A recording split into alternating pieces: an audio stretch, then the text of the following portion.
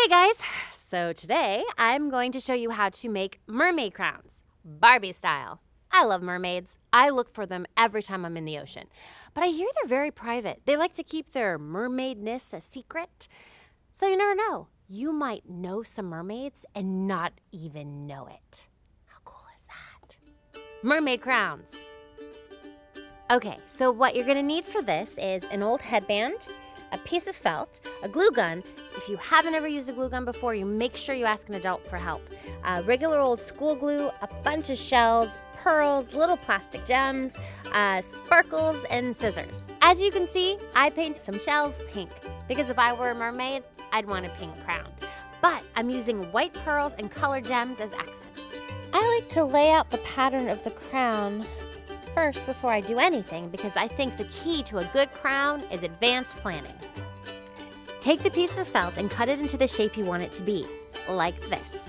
And then you attach it to the front of your headband, like this. This is the part where you're gonna attach your shells to.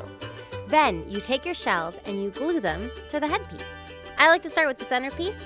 Today I will be using this star, but you can use anything you want. There's some beautiful scallop shells that you can use and Sarah sells she shells she she sells she sell she ah, I like to use the auger shells and the cerith shells yes to fill in the rest of the crown. They fit nicely together and they give the crown a nice look. Try to cover the felt with as much of the shells as possible so you don't see it peeking in through the gaps. Once the big shells are glued on, I fill in the spaces with the pearls and the gemstones like this. Ta-da! Pretty, right? But I'm not quite done. I can never have enough glitter. I like to do a little light design with glue around the outside of the shells, and then I sprinkle a little glitter onto it. Voila!